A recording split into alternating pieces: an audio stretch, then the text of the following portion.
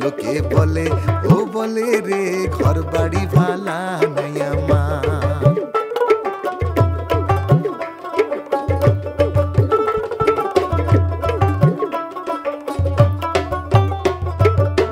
ভালা করে ঘর বানাইয়া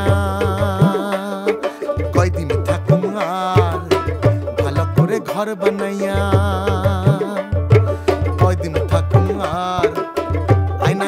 সাইয়া দেখি, আয়না দিয়ে সাইয়া দেখি পাকনা সুলামার লোকে বলে, ও বলে রে ঘর বাড়ি ভালা নাই আমার।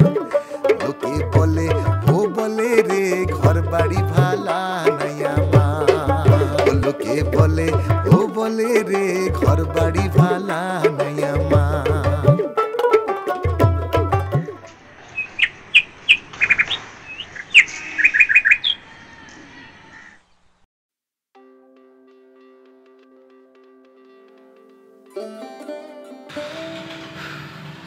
সকলকে গুড মর্নিং আর এখন বাজে সকাল সাতটা সাতটা। তো হট করে উঠেছি কারণ বাইরে খুবই বৃষ্টি হচ্ছে। তো দিনের শুরুটা এত সুন্দর বৃষ্টি দিয়ে খুব ভালো লাগছে। পুরো আকাশ মেঘলা মানে পুরো কালো করে আছে। মনে হচ্ছে না যে এখন সকাল সাড়ে সাতটা। অন্যান্য দিনের তুলনায় আজকে একদম মনে হচ্ছে যে বিকেলবেলা হয়ে গেছে। চলো, তোমাদের আমি দেখাচ্ছি। আর সবেই আমি ঘুম থেকে উঠলাম, বুঝতেই পারছ? আর যেহেতু ঠান্ডা ঠান্ডা হাওয়া দিচ্ছে, তো আমাকে একটা ছোট্ট কাঁথার মতো বার করতে হলো। ওটাই শু- গায়ে দিয়ে শুয়েছিলাম, তাহলে চলো তোমাদের দেখাই আর আজকের দিনটা কীভাবে কাটাবো তোমাদের সাথে শেয়ার করি, তাহলে চলো।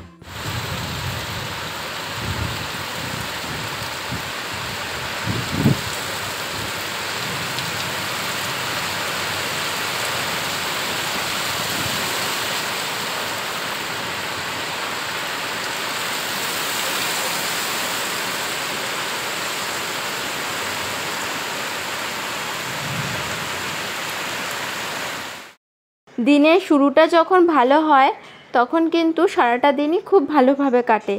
আজকে যেমন ঘুম থেকে উঠেই দেখছি বাইরে বৃষ্টি হচ্ছে, এতে কিন্তু আমার মনটাও খুব ভালো হয়ে গেছে আর আমি যেহেতু বৃষ্টি খুব ভালোবাসি, সেজন্য এত সকাল সকাল এত সুন্দর বৃষ্টি দেখে আমার খুব ভালো লাগছে। আর এখানে আমি এখন ব্রেকফাস্ট বানাচ্ছি, আজকে হবে জ্যাম আর তার সাথে পাউরুটি। এটা হচ্ছে ম্যাঙ্গো জ্যাম মা বানিয়েছে। আর তোমাদের সাথে এটা শেয়ারও করেছে। তোমরা চাইলে এটা দেখে নিতে পারো। আমাদের আরেকটা চ্যানেল আছে গুড়িয়াস কুকবুকে। সেখানে মা এই ভিডিওটা আর এই রেসিপিটা শেয়ার করেছে। তোমরা দেখে নিও, দারুণ হয়েছিল। অসাধারণ। এরকম দু কৌটো হয়েছিল, তবে আমাদের জন্য মানে আমরা এত ভালো খেয়েছি, প্রায় শেষ হতে চলল। মা এরকম দুটো কাচের শিশিতে করেছিল। একটা শেষ হয়ে গেছে আর একটা দেখতেই পাচ্ছ সবেই খোলা হলো। এবার খাওয়া দাওয়া সেরে আমি চলে যাই এখন রান্নার কাজে। রান্নার কাজ বলতে এখন আমি এই সমস্ত সবজিগুলো ভালো করে ধোবো। বাজার থেকে যখন সবজি আসে, আমি কীভাবে সমস্ত সবজি ধুয়ে রাখি আজকে তোমাদের সাথে সেটাই শেয়ার করছি। একটা বড়, দেখো, গামলা নিয়ে নিয়েছি, এতে যত সবজি আসে, সমস্ত সবজিগুলো এভাবে ঢেলে এবার কলের তলায় দিয়ে রাখব। বেশ কিছুক্ষণ এই কলের তলায় দিয়ে ভিজিয়ে রাখব। তোমরা চাইলে যখন তোমরা সবজিগুলো ধোবে, জলের মধ্যে কিন্তু সামান্য ভিনিগার দিয়ে দিতে পারো। আমি দিচ্ছি না, আমি পাঁচ থেকে দশ মিনিট ভিজিয়ে রাখব। তাহলে কিন্তু সমস্ত পোকা যা থাকবে সবজির মধ্যে সেটা বেরিয়ে যাবে এবং মরেও যাবে। এই দেখো, সমস্ত সবজিগুলো আমি ধুয়ে নিয়েছি। এবার আমি একটা ঝুড়িতে সমস্ত সবজিগুলো আলাদা আলাদা করে তুলে রাখব। এটার মধ্যে যেমন আমি সমস্ত ঢ্যাঁড়সগুলো আলাদা করে তুলে নিয়েছি, একদম জল ঝরিয়ে নিয়েছি। আরেকটা ঝুড়ি নিয়ে নিচ্ছি, যার মধ্যে আমি সমস্ত পটলগুলো রাখব। এভাবে কিন্তু আমি সবজিগুলো বেশ অনেক দিন পর্যন্ত তাজাও রাখতে পারি। তোমরা যদি চাও যে পটল বেশ অনেক দিন তাজা রাখবে, তাহলে কিন্তু যতটা লাগবে ততটা নিয়ে বাকিটা একটা প্লাস্টিকে মুড়িয়ে ফ্রিজে রেখে দিতে পারো, তাহলেও কিন্তু বেশ অনেক দিন থাকবে। আর এবার আমি রেখে দিচ্ছি কাঁচা লঙ্কাগুলো। কাঁচা লঙ্কাগুলো এখনই আমি কৌটোয় তুলবো না, যেহেতু জল আছে। ভালো করে জলটা শুকিয়ে যাওয়ার পর তারপর তুলবো, নইলে পচে যাবে। আর দেখো, আমি তিনটে ঝুড়িতে আলাদা আলাদা করে সমস্ত সবজিগুলো তুলে নিয়েছি। আর যে লেবুগুলো দেখছ লেবুগুলো একটা বাটিতে কিছুটা জল দিয়ে ভিজিয়ে রাখব। তাহলে কিন্তু কখনোই লেবুর যে রস, সেটা শুকিয়ে যাবে না। আর দেখো, কাঁচা লঙ্কাগুলো আমি একটা প্লেটে এভাবে সাজিয়ে রেখেছি, যখন শুকিয়ে যাবে তখন কৌটোতে তুলে দেব। এখন রান্নার জন্য আমি ডাল নিচ্ছি, এখানে মুসুরির ডাল নিয়ে নিচ্ছি, এক কাপ মুসুরির ডাল। এই ডালটা যখন ধোবো, সেই ডালের জলটা কিন্তু ফেলে দেব না। আমি একটা বাটির মধ্যে রেখে দিচ্ছি গাছে, পরে দিয়ে দেব। এই ডালের জল কিন্তু গাছের পুষ্টি দেয়। এবার আমি ডালটা সিদ্ধ বসিয়ে নিচ্ছি। নুন দিয়ে প্রেশার কুকারে সিদ্ধ করে নেব। আর এদিকে আমি যে সমস্ত সবজিগুলো ধুয়ে দিয়েছিলাম, সেই সমস্ত সবজিগুলো মা এখন এই বসে বসে কাটছে। এখন কাটছে পটল পটল ভাজবে সেজন্য, আর পটলের কোনো তরকারিও হবে। আর মাছকে পটল ভাজাটা একটা অন্যরকমভাবে করছে, তোমরা দেখো। এরকম পটল ভাজা মা আমাকে শেখাচ্ছিল যে এটা অন্যরকম একটা পটল ভাজা, এটাকে পাতা বলে পাতা পটল ভাজা। তো সেরকমই কীভাবে কাটতে হয় আমিও দেখছিলাম, তাই তোমাদের সাথেও শেয়ার করলাম। আর এটা ভাজারও কিন্তু একটা অন্যরকম পদ্ধতি রয়েছে। সেটা কীরকম তোমাদেরকে দেখাচ্ছে একটু পরেই। তো এভাবে কাটতে হবে। আমার কাছে এটা একদমই নতুন। আর এখানে আমি ডালটা করে নিলাম। আজকে ডালটা আমি রাঁধুনি সোমবার দিয়ে করেছি। রাঁধুনি সোমবার দিয়ে কিন্তু দারুণ লাগে। এমনি অনেক সময় কালো জিরে, পেঁয়াজ দিয়েও করি। তবে আজকে মনে হলো একটু রাঁধুনি, সোমবার দিয়ে করি। একটা অন্যরকম গন্ধ আসে। আমার ডালও এখানে প্রায় রেডি হয়ে গেছে। এরপর পটলগুলো ভাজা হবে।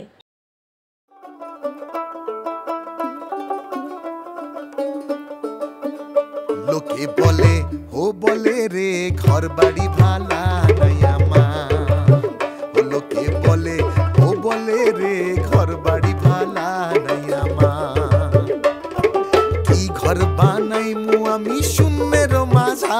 মাঝার বলে? ও বলে রে ঘর বাড়ি ভালা চাপের জায়গাটা ঠিক রাখতে হবে যে কাঁথার ঠিক মাঝখানটাই যেন হয়। নাহলে কিন্তু এগুলো হবে না। এগুলো খুলবেও না না? না তখন আর ডিজাইনটা পড়বে না। এই ডিজাইনটা ঠিক মাঝখানে জায়গা রেখে কাটতে হবে। আর উল্টে দিয়ে ভাজা হওয়া পিঠ চেপে দিতে হবে।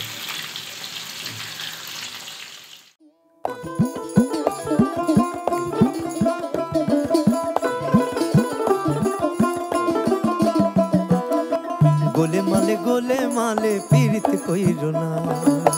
গোলে মালে গোলে মালে পীড়িত কইর না। আবার পীড়িতি কাঠালে আঠা, আবার পীড়িতি কাঠালে আঠা। ও আঠা লাগলে পরে ছাড়ে না, ও আঠা লাগলে পরে ছাড়ে না। গোলে মালে গোলে মালে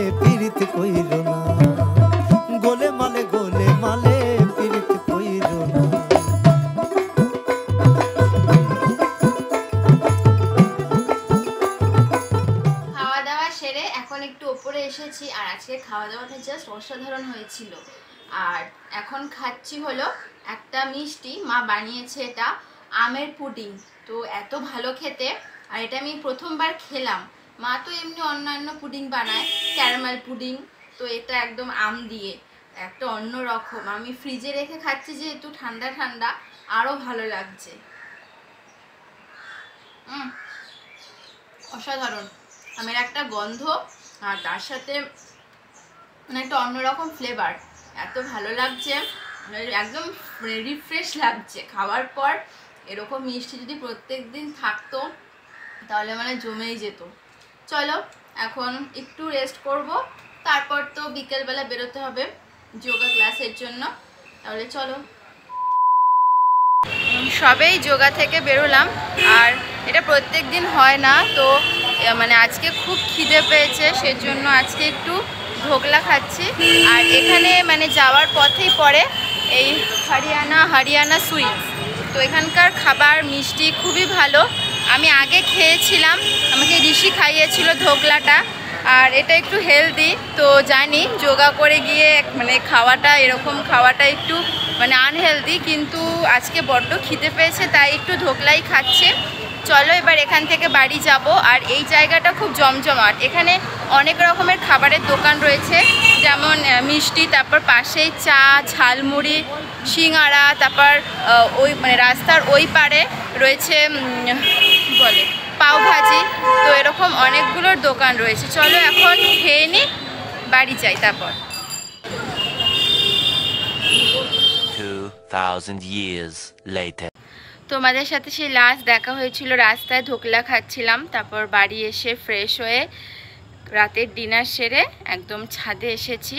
তো ছাদে বেশ অনেকক্ষণই একটু বসলাম, আর এখন অভ্যাস হয়ে গেছে, আর আজকে একটু বৃষ্টি হয়েছে বলে আজকে গরমটা অতটা নেই, একটু ঠান্ডা ঠান্ডা, তাও ছাদে এসেছি।